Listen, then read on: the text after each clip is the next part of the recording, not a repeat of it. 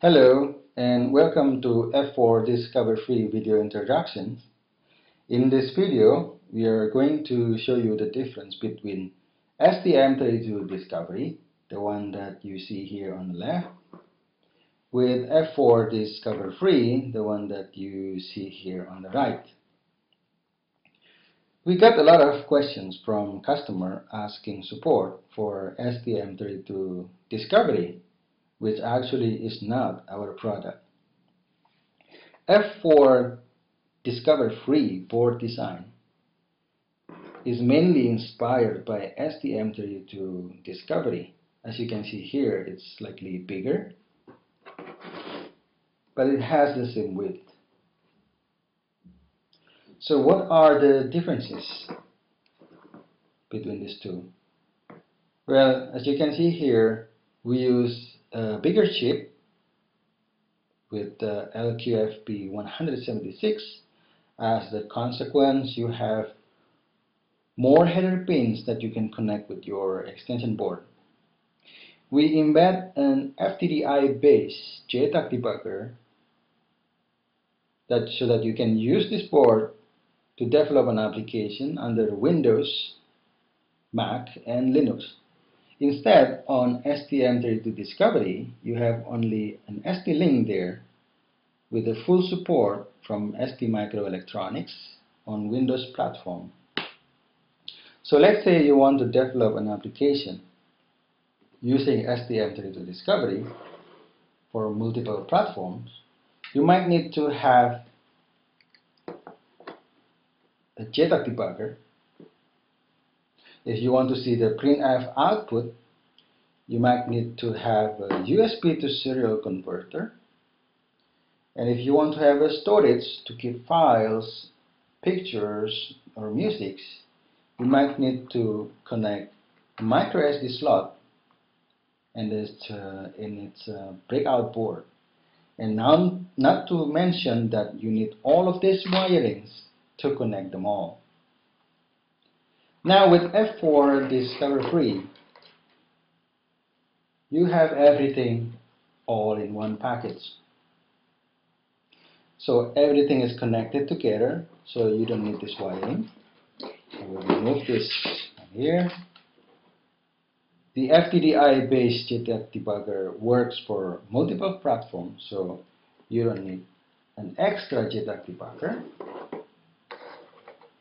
If you want to see the printout of the printf function, you already have FTDI chip with two ports, so one of them is a USB to serial converter, so you don't need this one.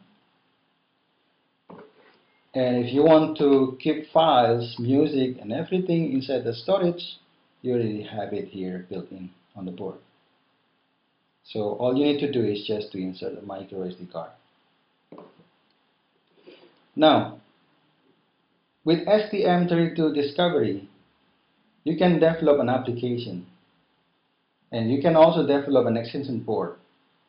But if you want to sell and make a commercial product out of it, you may not include the STM32 Discovery within your products. You may need to read this evaluation license agreement on ST Microelectronic websites. Instead, with our F4 Discover Free, the schematic designs is licensed under CC by SA 3.0, meaning that you can use it for, for free. The software we provided on our website is also for free. If you want to work with the Keil or IAR, we also support the plugin for free.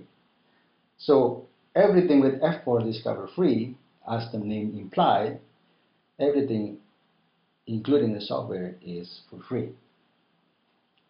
So now, to avoid further confusions between STM32 Discovery, we released our new product of, S, uh, of uh, F4 Discover Free in blue color. So as you can see here, even though the board dimension is the same, but you can differentiate from the color, obviously. Now this, this new product is not only about changing the color. Actually, we have uh, new features built in into our new F4 Discover Free. So if we put aside the old release and the new one, you can see here that now we have an indicator when you plug in the USB cable.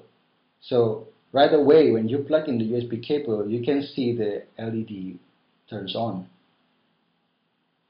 In addition to that, on the JTAG debugger, we have an extra ground pin here so that actually you can remove all of this jumper out of the board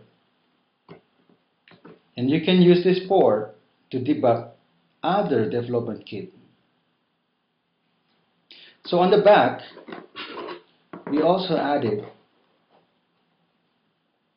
a footprint here for uh, an EEPROM in case you want to add your own VID and PID on F4 Discover Free. So that's the video introduction for today to explain about our new release of F4 Discover Free and the difference to STM32 Discovery. So what are you waiting for? Go visit our website and get one and have fun with F4 Discover Free. So thank you for watching. Bye-bye.